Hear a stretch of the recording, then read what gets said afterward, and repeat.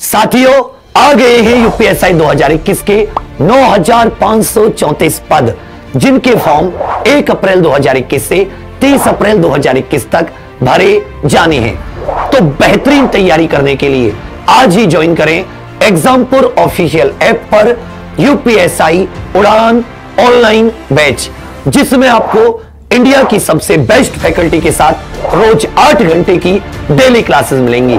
और साथियों daily daily classes लेकर धीरे धीरे हौसला मज़बूत होता जाएगा सिलेबस कंप्लीट होता जाएगा और जब फॉर्म भरने की डेट आएगी तब तक तो आप बाकी लोगों से बहुत आगे निकल चुके होंगे।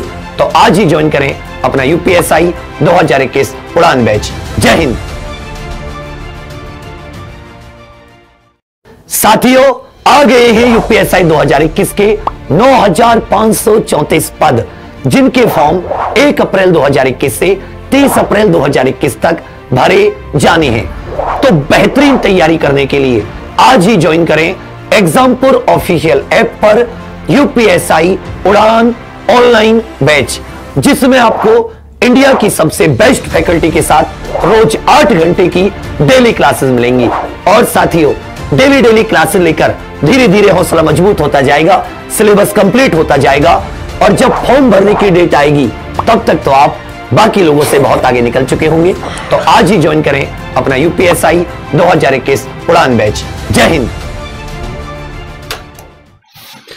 Hello friends welcome to Exampur साथियों, मैं कुलजीत, आज फिर आपका स्वागत करता हूँ आपके इस डीआरडीओ एमटीएस की क्लास में। तो चलिए साथियों, शुरुआत करते हैं आपके आज के इस क्लास का। तो साथियों, आप सबको मैं एक बार बता देना चाहता हूँ कि आपका जो डीआरडीओ एग्ज़ाम के बड़े ही जल्द होने वाला है, बहुत से लोग कहते रहते हैं डीआरडीओ का एग्ज़ाम नहीं हो रहा। तो इसकी खुशखबरी के लिए हमने बहुत कुछ ढूंढ लिया है। तो अब हम आपको बताएँगे अच्छे तरीके से इवेंट बना के तो आप लोग बेफिक्र रहिएगा, ठीक है? चलो। तो ओ मतलब। तो चलिए साथियों, शुरुआत करते हैं आपके आज के इस बेहतरीन सेशन का। आप सबके प्रश्नोत्तर के साथ, सब चीज़ों के साथ।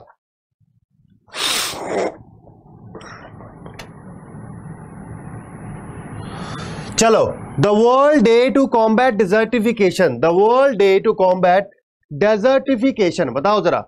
विश्व विश्व मरुस्थलीकरण के, विश्व मरुस्थलीकरण के रोकथाम दिवस हर साल कब मनाया जाता है, बताओ जरा।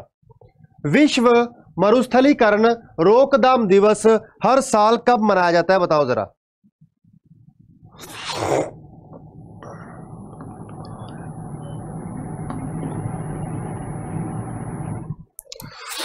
World day to combat desertification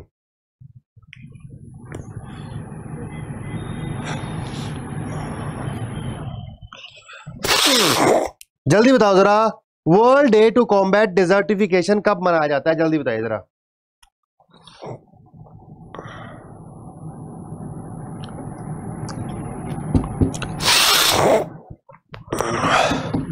देखो। देखो कब मनाया जाता है? सत्रह जून सेवनटीन जून को world day to combat desertification मतलब मरुस्थलीकरण होता क्या है? फॉर एग्ज़ाम्पल हमारे भारत में बहुत सारी हरियाली रहती है, ठीक है? हमारे भारत में बहुत सारी हरियाली रहती है। ये हरियाली गायब हो जाई है। कैसे गायब हो रही है? मरुस्थलीकरण के कारण। कहीं वर्षा नहीं हो रही, कहीं बहुत ज़्यादा वर्षा हो रही है। मौसम बदलता जा रहा है, अनुकूल नहीं रह रहा। तो इस सब चीज़ों को रोकने के लिए यूनाइटेड नेशन द्वारा लोगों को जागरूक करने के लिए संयुक्त राष्ट्र ने एक प्रयास चलाया है। विश्व मरुस्थलीकरण रोकथाम दिवस, ठीक है, चलो। नेक्स्ट क्वेश्चन क्या है, वो क्या है? Indian army's operation Sanyam was related to बताओ जरा। भारतीय सेना का ऑपरेशन संयम किससे संबंधित है? भारतीय सेना का ऑपरेशन संयम किससे जुड़ा हुआ है? बताओ जरा। ऑपरेशन संयम।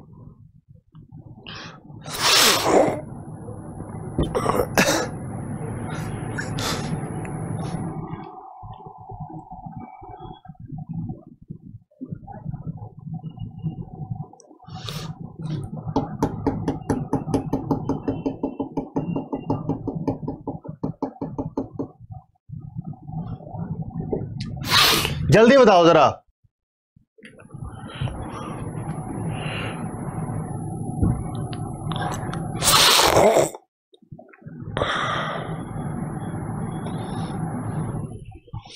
देखो, इसका आंसर क्या है? क्या कह रहे हो? इसका आंसर क्या है? पंजाब और राजस्थान में भारत पाक सीमा के ऊपर बहुत सारे बम लगाए गए थे। भारतीय सेना द्वारा, ठीक है? बहुत सारे बम लगाए गए थे, कम से कम बीस हज़ार के करीब बम लगाए गए थे जो फटे नहीं थे, जो पचास टन के करीब थे।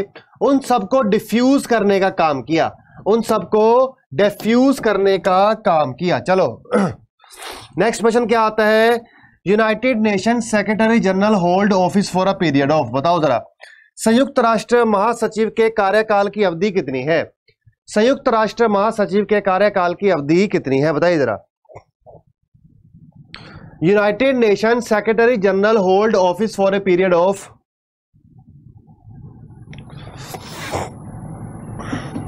Sundaram Chauhan DRDO का जो एग्ज़ाम है, जल्द होगा आपको इसका इवेंट बना के हम लोग जागरूक भी कर देंगे क्योंकि हमें पता चल चुका ठीक है? जल्दी जल्दी बताइए जरा। देखो कब तक होगा? पाँच साल, ठीक है? कब तक होगा? पाँच साल तक होगा, ठीक है? कब तक होगा? पाँच साल तक होगा, ठीक है? 1961 में यह तय किया गया था। अब देखो यूनाइटेड नेशन के इस वक्त के जनरल सेक्रेटरी कौन है? यूनाइटेड नेशन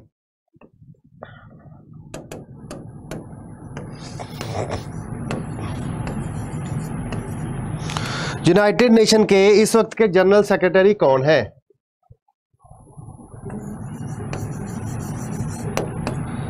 एंटोनियो ग्यूट्रेस, ठीक है? एंटोनियो ग्यूट्रेस इस वक्त के सेक्रेटरी जनरल चल रहे हैं। सेक्रेटरी जनरल चल रहे हैं इसके। चलिए, चलेंगे नेक्स्ट क्वेश्चन के ऊपर। वो क्या बनता है? Group of four bits form में। जो चार बिट्स का समूह क्या बनता है? चार बिट्स का समूह क्या बनता है? बताइए जरा, चार बिट्स का समूह क्या बनता है? चार बिट्स का समूह क्या बनता है? देखो इसका आंसर क्या बनता है? निब्बल। क्या इसका आंसर बनता है? निब्बल इसका आंसर बनता है। चलो। नेक्स्ट क्या आता है? Barograph was an invented by. बताओ जरा। बैरोग्राफ का आविष्कार किसने किया था? बताइए जरा। बैरोग्राफ का आविष्कार किसने किया था? Barograph was invented by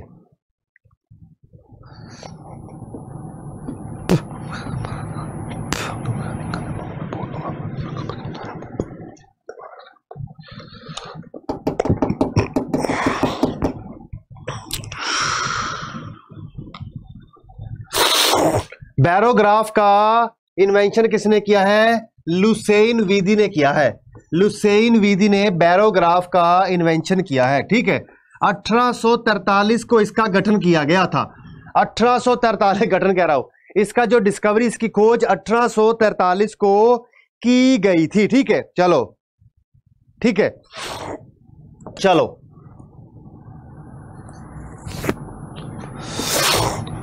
बिल्कुल बिल्कुल बिल्कुल। चलिए। नेक्स्ट क्वेश्चन क्या आता है? Which of the following is a classical dance from north India निम्नलिखित में से कौन सा उत्तर भारत का एक शास्त्रीय नृत्य है? निम्नलिखित में से कौन सा एक उत्तर भारत का शास्त्रीय नृत्य है? भारतनाट्यम, कुचिपुड़ी, कथक या कथकली?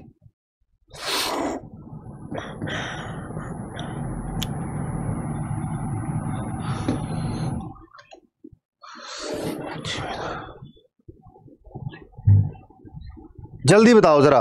भारतनाट्यम का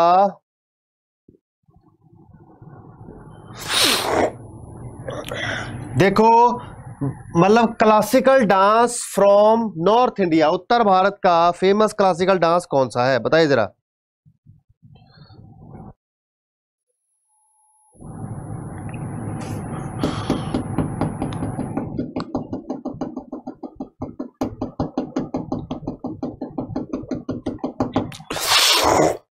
देखो इसका क्या आंसर बनता है कथक इसका आंसर बनता है, ठीक है?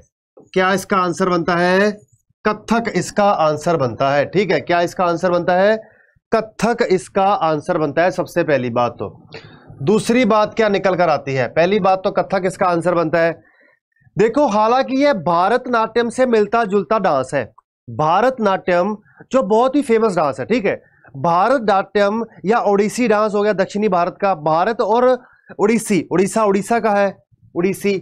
और भारतनाट्यम पूर्ण रूप से दक्षिणी भारत का बनता है। तो दक्षिणी भारत का सिमिलर ही माना जाता है क्या ये कथक? क्या आप बता सकते हैं कि यह कथक कौन से राज्य में ज़्यादातर फ़ेमस है? ठीक है? उत्तर प्रदेश, ठीक है? क्या है इसका उत्तर प्रदेश बनता है? चलिए। नेक्स्ट क्या आएगा आपके सामने? Value of total goods and services produced in a country बताओ जरा। Value of total goods and services produced in a country किसी देश में उत्पादित सभी वस्तुएँ एवं सेवाएँ का मूल्य। किसी देश में उत्पादित सभी वस्तुएँ एवं सेवाओं का मूल्य। क्या कहलाता है? बताओ जरा। किसी देश में उत्पादित सभी वस्तुएँ एवं सेवाएँ का मूल्य क्या कहलाता है? साथियों सभी लोग मिलकर एक बार सेशन को शेयर करिए। सभी लोग मिलकर सेशन को शेयर करिए।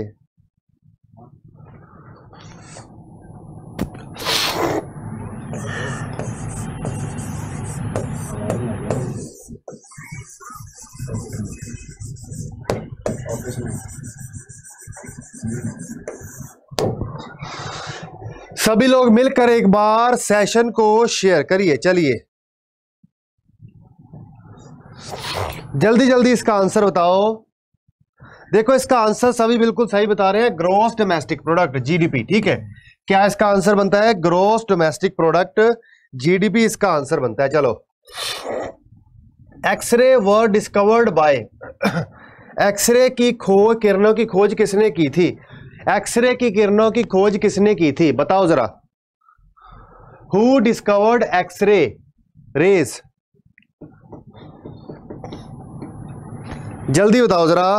किसने एक्सरे की खोज की थी? जो एक्सरे की किरणें इसकी खोज किसने की थी? बताओ जरा। एक्सरे की किरणों की खोज किसने की थी? बताइए जरा। देखो, इसका आंसर क्या बनता है? बी ठीक है? इसका क्या आंसर बनता है? बी इसका आंसर बनता है। कब इसकी खोज की थी? अठारह में इसकी खोज की थी। अठारह में इसकी खोज की थी। चलिए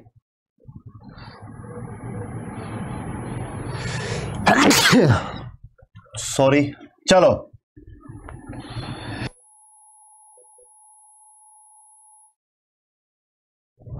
एड्स के कारण, एड्स के कारण वायरस की पहचान किस वर्ष में की गई? एड्स के कारण होने वाले वायरस की पहचान किस वर्ष की गई, बताइए।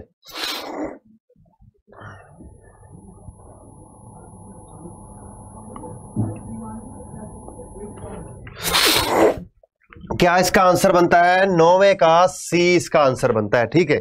क्या इसका आंसर बनता है? नौवे का सी इसका आंसर बनता है, चलिए। Waksman got the Nobel prize for the discovery of बताइए जरा, किसकी खोज के लिए वॉक्समैन को नोबेल पुरस्कार मिला? किसकी खोज के लिए वॉक्समैन को नोबेल पुरस्कार मिला, बताइए जरा।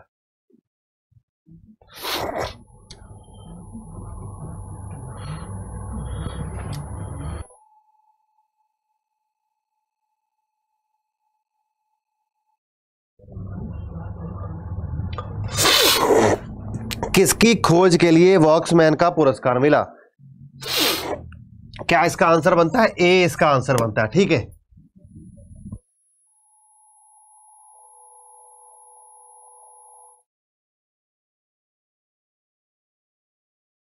चलो।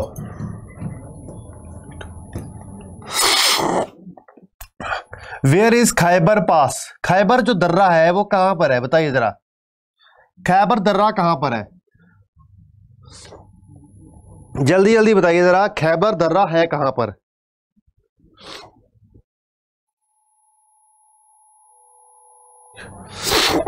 बताइए जरा, खैबर दर्रा है कहाँ पर? जल्दी बताइए।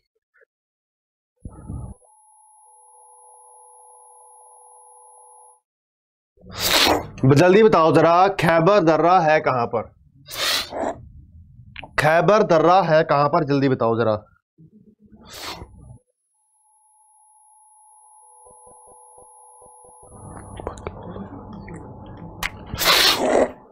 जल्दी बताइए, जो खैबर दर्रा है, गैबर पख्तूनबा में जिसे कहते हैं, कहाँ पर?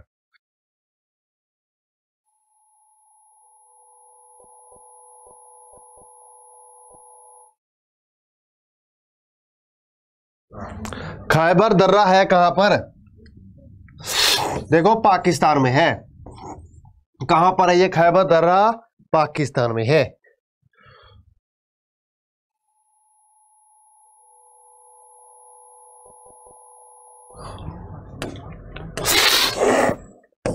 Who is the author of the best seller my life सबसे अधिक बिकने वाली पुस्तक माई लाइफ का लेखक कौन है? बताओ जरा। सबसे अधिक बिकने वाली पुस्तक माई लाइफ का लेखक कौन है?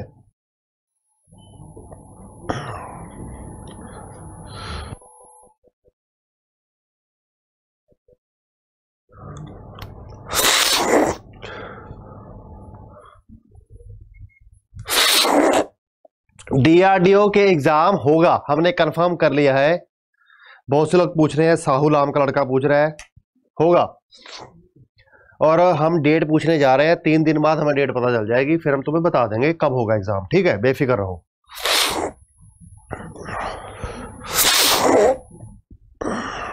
हम गए थे स्पेशली पता करने के लिए डीआरडी ऑफ़िस इसका क्या आंसर बनता है? बिल क्लिंटन ठीक है? क्या इसका आंसर बनता है? बिल क्लिंटन इसका आंसर बनता है, चलिए। Which of the following is associated with Lord Wellesley the governor general of India from 1798 to 1805 बताइए जरा। बताओ जरा। निम्नलिखित में से क्या सत्रह सो अठानवे से 1805 तक भारत के गवर्नर जनरल लॉर्ड वेलेसली से संबंधित है? बताइए जरा। जनरल लॉर्ड वेलेसली से क्या जुड़ा हुआ है?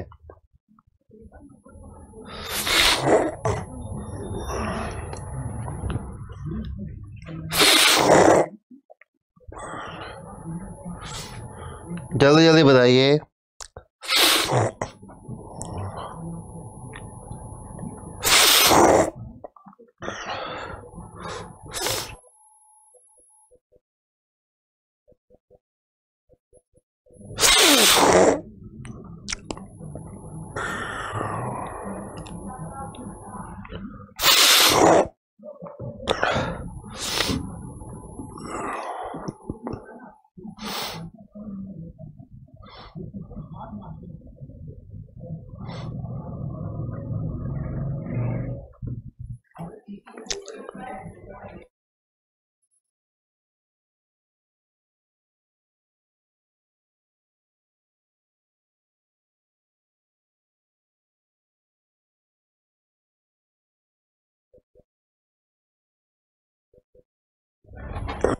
नहीं, बताओ जरा इसका आंसर है बताओ जरा. बताओ जरा क्या है जुड़ा हुआ इससे?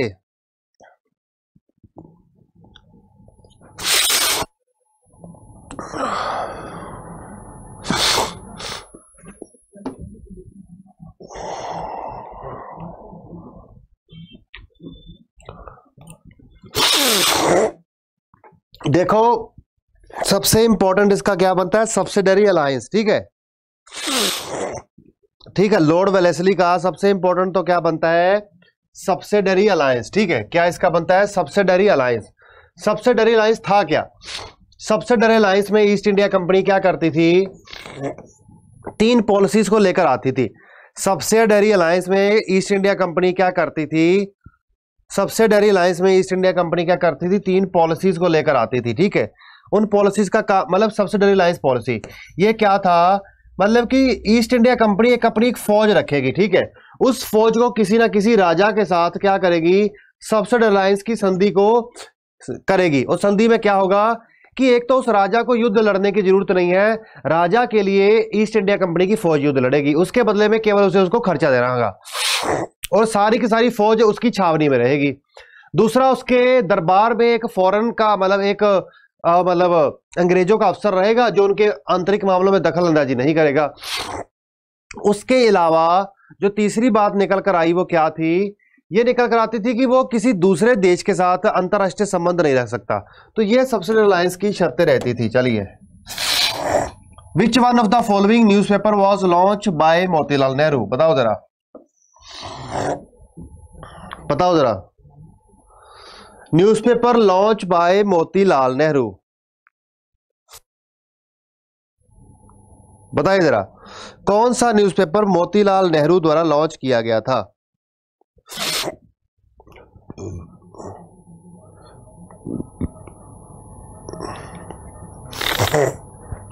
जल्दी जल्दी बताइए जरा। देखिए, द इंडिपेंडेंट इंडिया, ठीक है? 1919 में ये न्यूज़पेपर का लॉन्च किया था।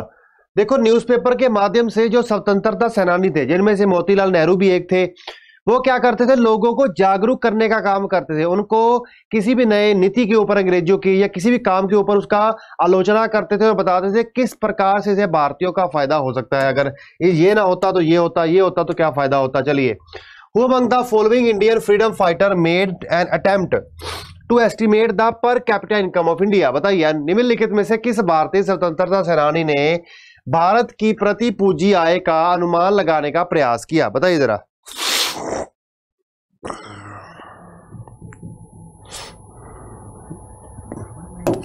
देखो, दादा साहेब फालके, ठीक है? और सॉरी दादा भाई नारोजी। दादा भाई नारोजी ने एक थ्योरी दी थी, जिसे हम क्या कहते हैं? इकोनॉमिक ड्रेन थ्योरी क्या कहते हैं? इकोनॉमिक ड्रेन थ्योरी जिसके अंदर उन्होंने बताया था कि किस तरीके से अर्थ हमारे देश की अर्थव्यवस्था को लूटा जा रहा है और किस तरीके से हमारे देश को गरीब और गुलाम किया जा रहा है, ठीक है? चलिए, चले नेक्स्ट क्वेश्चन के ऊपर। Who compare the Dandi march to Naples Napoleon's march to Paris on is return from Elba बताइए, किसने एल्बा से लौटने पर दांडी मार्च की तुलना पेरिस के नेपोलियन मार्च से की थी? बताइए जरा। जल्दी जल्दी बताइए।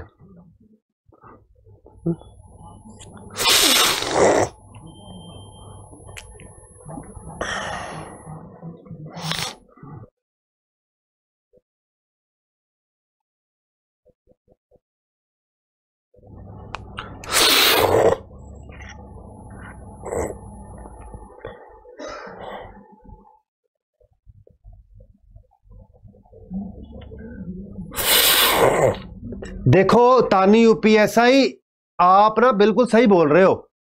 इसमें कोई डाउट नहीं है कि सब्सिडरी अलायंस की नीति को सबसे पहले डुप्लेक्स ने लॉन्च किया था, लेकिन डुप्लेक्स एक फ्रांसीसी था। फ्रांस की ईस्ट इंडिया कंपनी वाला था, लेकिन इसका सबसे पहला इस्तेमाल अंग्रेज़ों की ईस्ट इंडिया कंपनी में लॉर्ड वेलेसली ने किया था, निज़ाम, हैदराबाद के निज़ाम के ऊपर। ठीक है, ये बात आप याद रखिए। चलो।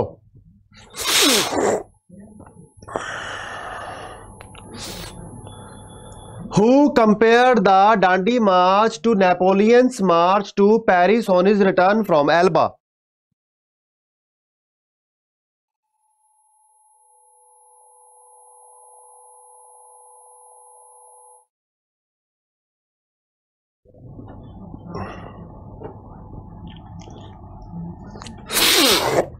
इसका क्या आंसर बनता है? सुभाष चंद्र बोस। ठीक है? क्या इसका आंसर बनता है? Subhash Subhash Chandra Bose. Who had democratic demarcated the border line between India and Pakistan Bharat और पाकिस्तान के बीच सीमा रेखा का निर्धारण किसने किया था? भारत और पाकिस्तान के बीच सीमा रेखा का निर्धारण किसने किया था? जल्दी बताओ जरा। जल्दी बताओ जरा। भारत और पाकिस्तान के बीच सीमा रेखा का निर्धारण किसने किया था? बताइए जरा। देखो रेडिक्लिफ ने, ठीक है? इसीलिए तो उसे रेडिक्लिफ लाइन भी कहा जाता है। इसीलिए तो इसे रेडक्लिफ लाइन भी कहा जाता है। चलो। The Hindustan Socialist Republic Association was founded in Hindustan Socialist Republic Association की स्थापना कब हुई थी? बताओ जरा। हिंदुस्तान सोशलिस्ट रिपब्लिक एसोसिएशन की स्थापना कब हुई थी? देखो 1928 को हुई थी। इससे पहले इसका नाम क्या था? हिंदुस्तान रिपब्लिक एसोसिएशन, जिसमें राम प्रसाद बिस्मिल, अशफाक उल्ला खान जैसे महान शहीद थे। बाद में इसका नाम दिल्ली में पड़ा था, हिंदुस्तान सोशलिस्ट रिपब्लिक एसोसिएशन। चलिए, नेक्स्ट क्वेश्चन क्या बनता है? When did the first Huna invasion take place बताइए जरा। पहला हुना आक्रमण कब हुआ था? पहला हुना आक्रमण कब हुआ था, बताइए जरा। पहला होना आक्रमण कब हुआ था, बताइए जरा। पहला होना आक्रमण कब हुआ था, जल्दी बताइए जरा। देखो, पहला होना आक्रमण पंद्रह को हुआ था, डिटेल में बता सकते हो इसके बारे में? फ़र्स्ट होना इन्वेजन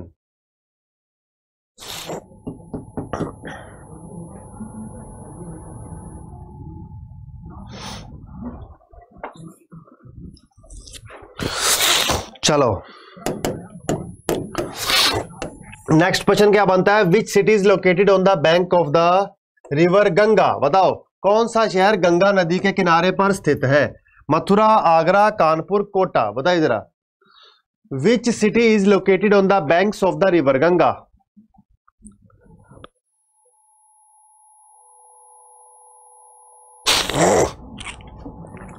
Radhe Radhe, आप सबको मेरी तरफ़ से। चलो।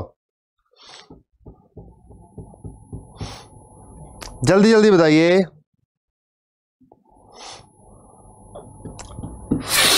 कौन सा शहर गंगा नदी के किनारे पर बसा है? मेरे भाइयों, बहनों, बता दो।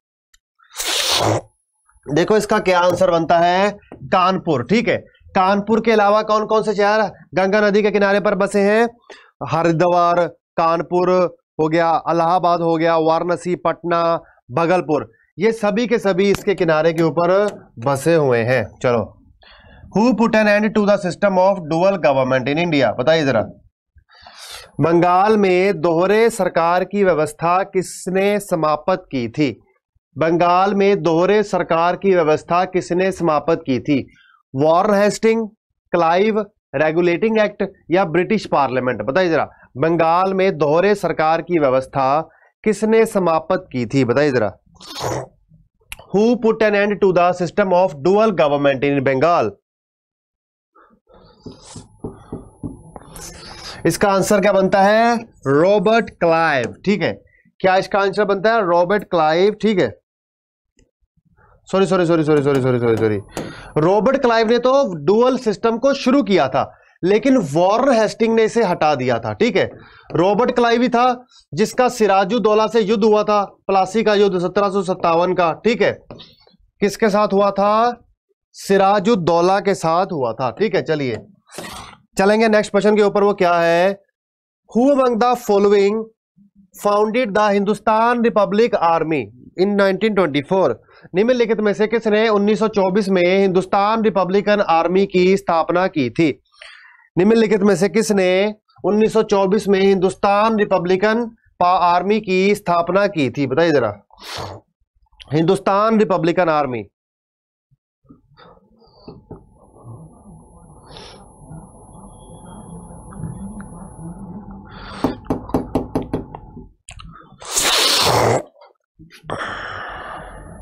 ये तो वही है।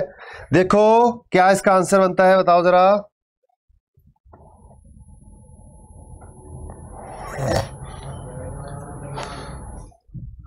Who founded Hindustan Republic Association in 1924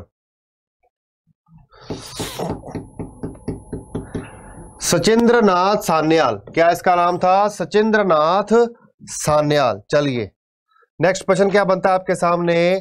Ghadar party was founded at बताइए, गदर पार्टी की स्थापना कहाँ की गई थी? गदर पार्टी की स्थापना कहाँ की गई थी? बताइए। गदर पार्टी।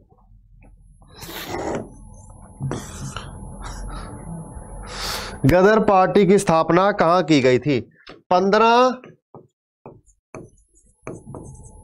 जुलाई 1913 को गदर पार्टी की स्थापना की गई थी। सबसे पहली बात तो हरदयाल और सोहन सिंह बखना दो महत्वपूर्ण नाम निकल कर आए थे इसका गठन करने के लिए। ठीक है, हरदयाल सिंह और सोहन सिंह बखना इसका दो नाम निकल कर आए थे इसका गठन करने के लिए, ठीक है? और कहाँ पर इसका गठन किया गया था, बताओ जरा। देखो, सैन फ्रांसिस्को, ठीक है? क्या इसका नाम है जगह का? सैन फ्रांसिस्को इस जगह का नाम है, ठीक है? ठीक है, क्या नाम है इसका? सैन फ्रांसिस्को इसका जगह का नाम है इसका न्यूज़पेपर था हिंदुस्तानी गदर। क्या नाम था उसका? हिंदुस्तानी गदर इसका नाम है। चलिए। नेक्स्ट क्वेश्चन पर चलते हैं। Which of the following was first started by Mahatma Gandhi? निम्नलिखित में से किसे क्या सबसे पहले महात्मा गांधी द्वारा शुरू किया गया था? निम्नलिखित में से क्या सबसे पहले महात्मा गांधी द्वारा शुरू किया गया था? बताओ जरा। सबसे पहले, निम्नलिखित में से कौन सा महात्मा गांधी द्वारा किया गया था? बता दो जरा। बताओ जरा, निम्नलिखित में से कौन सा महात्मा गांधी द्वारा शुरू किया गया था?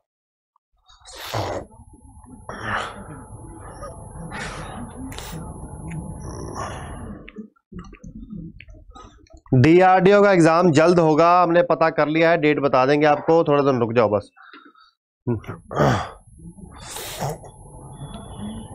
देखो, सबसे पहले चंपारण का सत्याग्रह हुआ था। इंडिगो प्लांटर्स के अगेंस्ट 1916 में, ठीक है? बिहार में ये जगह थी। उसके बाद इधर आके अहमदाबाद वाला हुआ था। उसके बाद क्या हुआ? नॉन कोऑपरेशन मूवमेंट शुरू किया गया। उसके बाद सिविल डिसोबीडियंस उसके बाद क्विट इंडिया मूवमेंट शुरू किया गया। चलिए। नेक्स्ट क्वेश्चन क्या बनता है? Rukmini Devi Arundale is associated with Rukmini Devi Arundale किससे संबंधित है? किससे जुड़ा है? रुक्मणी देवी अरुणदले किससे जुड़ा है? बताइए जरा। Rukmini Devi Arundale is associated with which classical dance बताइए, रुक्मणी देवी अरुण दले किससे जुड़े हुआ नाम है? देखो, भारतनाट्यम से किससे जुड़ा हुआ है? भारतनाट्यम से जुड़ा हुआ ये डांस है, ठीक है? ठीक है?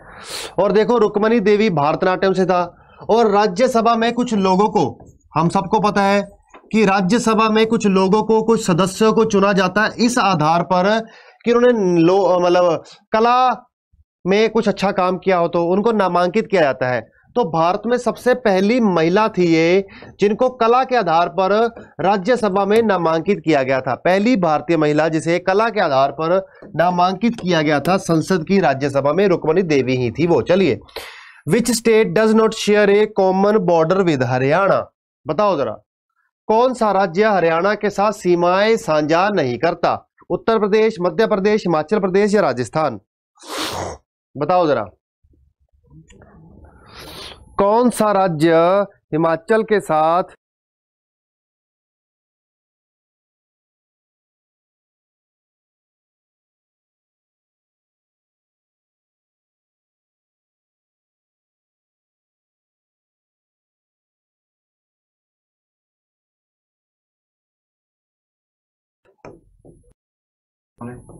हाँ हाँ ये देखो, क्या कह रहे हो? देखो, जो गांधी जी ने सबसे पहला सत्याग्रह किया था, कहाँ किया था? सब जानते हैं कि सबसे पहले सत्याग्रह वो दक्षिणी अफ्रीका से निकल कर आए थे, ठीक है? पता नहीं तुमने किस बेवकूफ़ से पढ़ लिया। दक्षिणी अफ्रीका से सबसे पहले वो आए थे, अपना सत्याग्रह का फार्मूला लेकर। और सबसे पहले वो चंपारण गए थे। उन्होंने पूरे देश का मतलब उन्होंने किया किया था मतलब सर्वेक्षण किया था, एक प्रकार सर्वे किया था, ठीक है? तो चंपारण सत्याग्रह। कौन सा चंपारण सत्याग्रह? सबसे पहले इन्होंने 1917 में चंपारण का सत्याग्रह किया था भारत में आकर। ठीक है, चंपारण का सत्याग्रह। और उसके बाद उन्होंने नॉन कोऑपरेशन उसके बाद सिविल डिसोबीडियंस उसके बाद क्विट इंडिया मूवमेंट ये सारे की हायरार्की कुछ इस प्रकार है। तो भाई किसने पढ़ा दिया मेरे भाई? अब कौन सा आता है? कौन सा राज्य हरियाणा के साथ सीमाएँ साझा नहीं करता। बताओ जरा। Which state do not share their border with Haryana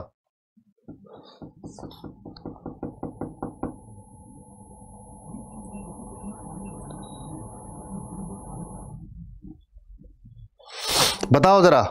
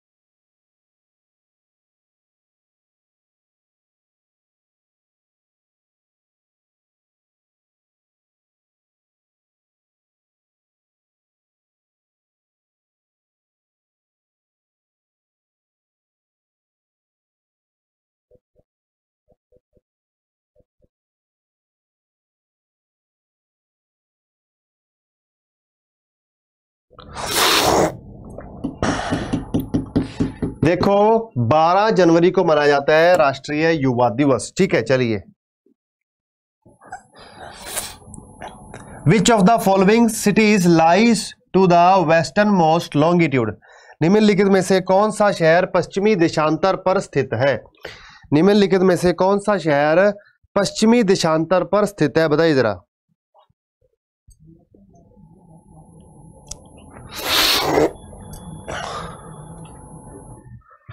देखो जो जयपुर है, वो वेस्टर्न मोस्ट लॉन्गिट्यूड के ऊपर स्थित है। ठीक है, देशांतर क्या होते हैं? ये वाले। जो गोल धरती के ऊपर सीधी लाइनें खींची जाती है, उसे हम क्या कहते हैं? दक्षांतर कहते हैं। चलिए। नेक्स्ट क्वेश्चन क्या आता है? Non resident Indians day is marked on भारतीय प्रवासी भारतीय दिवस कब मनाया जाता है?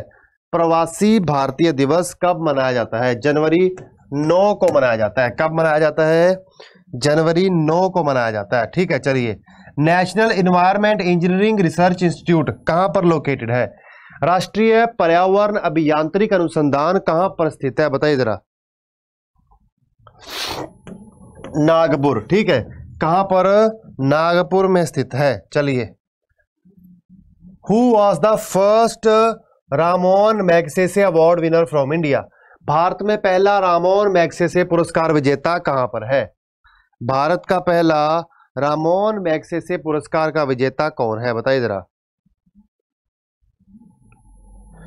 First winner of Ramon Magsaysay award in India Vinoba Bhave, क्या नाम है उनका? आचार्य विनोबा भावे, उन्नीस सौ अट्ठावन में इन्होंने ये पुरस्कार जीता। चलिए। नेक्स्ट क्या आता है आपके सामने? The interim criminal police organization, Interpol जिसे कहते हैं, उसका हेडक्वार्टर कहाँ पे है? इंटरपोल, बताओ जरा, इंटरपोल।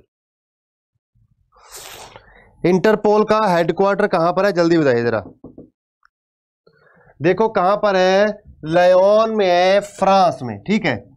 कहाँ पर? फ्रांस के लायोन में इंटरपोल का हेडक्वार्टर है। एक अंतरराष्ट्रीय पुलिस है, ठीक है? इसका जो फाउंडर उनका नाम क्या है? जोनीस स्कोबर, ठीक है? क्या नाम है? जोनीस स्कोबर उसका नाम है, ठीक है? चलिए। चलेंगे नेक्स्ट क्वेश्चन के ऊपर, वो क्या है? कैपिटल ऑफ़ डेनमार्क डेनमार्क की राजधानी क्या है? Capital of Denmark capital of Denmark Denmark की राजधानी क्या है? देखो कोपनहेगन क्या उसका नाम है? कोपनहेगन उसका नाम है। चलिए। India become a member of the United Nation Bharat संयुक्त राष्ट्र का सदस्य कब बना? When India become the member of United Nation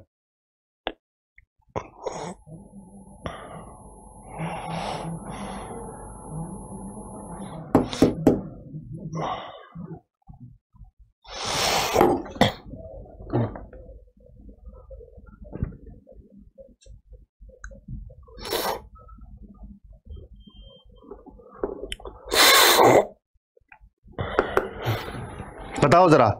संयुक्त राष्ट्र का मेंबर भारत कब बना? देखो फाउंडिंग मेंबर था 1945 में, ठीक है? फाउंडिंग मेंबर था 1945 में भारत, ठीक है? चलिए। नेक्स्ट क्वेश्चन क्या आता है आपके सामने? What is the currency of Cambodia currency of Cambodia Cambodia की करेंसी कौन सी है? रील ठीक है? कंबोडिया की करेंसी कौन सी है? रील कंबोडिया की करेंसी है। ठीक है, चलिए। नेक्स्ट आंसर क्या बनता है आपके सामने? Deepika Kumari is associated with बताओ जरा। Deepika Kumari is associated with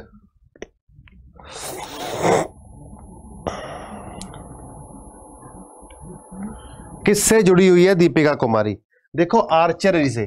किससे जुड़ी है? आर्चरी से जुड़ी है दीपिका कुमारी। चलिए नेक्स्ट क्वेश्चन चलो, हो गया। तो चलिए साथियों, इसी के साथ आपके आज के क्वेश्चंस का अंत होता है। साथियों एग्ज़ाम डीआरडीओ का जल्द ही डिक्लेयर होने वाला है कि कब होगा। अभी हाथ के हाथ एनटीपीसी आ गया, हाथ के हाथ ग्रुप डी आ गया, दिल्ली पुलिस भी हो गया। अभी एक और एग्ज़ाम होने वाला है, ठीक है? तो हम पता करके आए हैं एक दो दिन में आपको इवेंट करके सारी जानकारी दे देंगे। आप अपने साथियों संगियों को भी बता दीजिएगा कि कब एग्ज़ाम आने वाला है। परफेक्ट डेट तो नहीं पता लेकिन मंथ क्लियर है कि किस मंथ के किन हफ़्ते में होने वाला है ठीक है? तो चलिए साथियों इसी के साथ अंत करते हैं आपके आज के सेशन का। Okay friends bye bye subscribe करिए चैनल को। साथियों आ गए हैं यूपीएसआई 2021 के 9,534 पद। जिनके फॉर्म 1 अप्रैल 2021 से 30 अप्रैल 2021 तक भरे जाने हैं। तो बेहतरीन तैयारी करने के लिए आज ही ज्वाइन करें एग्जामपुर ऑफिशियल ऐप पर यूपीएसआई उड़ान ऑनलाइन बैच जिसमें आपको इंडिया की सबसे बेस्ट फैकल्टी के साथ रोज आठ घंटे की डेली क्लासेस मिलेंगी। और साथियों डेली डेली क्लासेस लेकर धीरे धीरे हौसला मज़बूत होता जाएगा सिलेबस कंप्लीट होता जाएगा और जब फॉर्म भरने की डेट आएगी, तब तक तो आप बाकी लोगों से बहुत आगे निकल चुके होंगे। तो आज ही ज्वाइन करें अपना यूपीएसआई 2021 उड़ान बैच। जय हिंद।